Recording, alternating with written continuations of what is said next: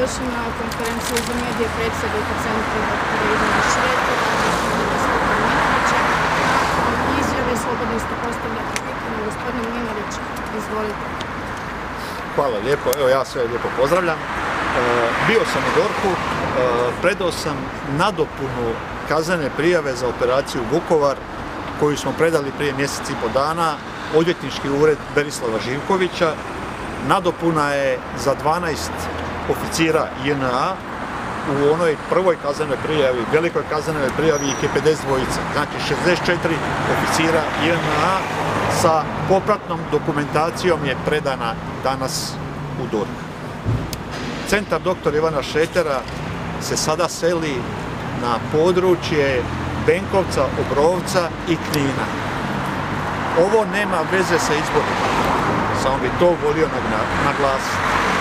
Toj kaznenoj prijavi za, znači, za Dalmatinsko zaleđe, gdje su počinjeni stravični zločini koji nisu procesuirani, će biti gotova tek u 10. 11. mjesecu. Znači, nikakve veze sa izborima ovo nema. Ovo ima veze sa pravdom, ovo ima veze sa neprocesuiranim ratnim zločinicima koji nisu procesuirani u ovoj zgradi iza nas, nažalost 30 godina, a mogli su biti.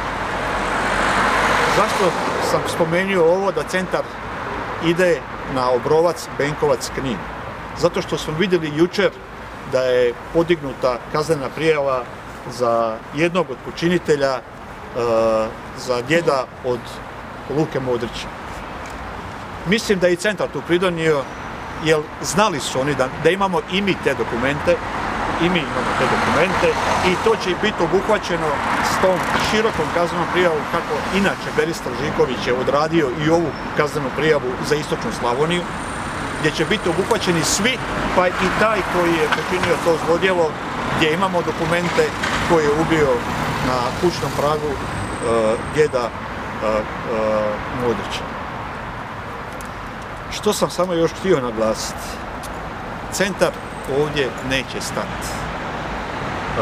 Vama sad novinarima kažem, cijeloj javnosti kažem, centar je angažirao dva odvjetnička ureda.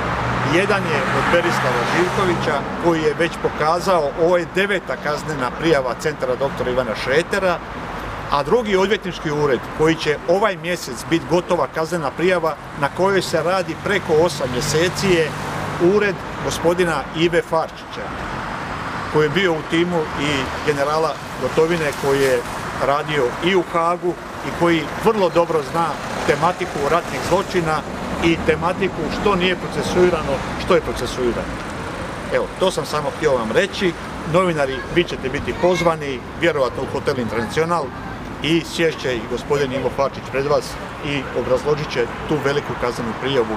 Čućete onda od njega o čemu se radi, što se radi. Naravno, sve što se radi, radi se sa dokumentima, s dokumentima s njihove strane.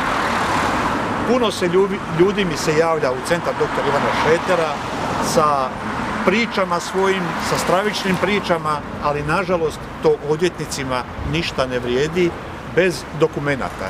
Kad imamo dokumente, onda se može uzeti izjava svjedoka i snimiti ili pismeno i predati to. Tako smo do sada radili, tako ćemo raditi i dalje.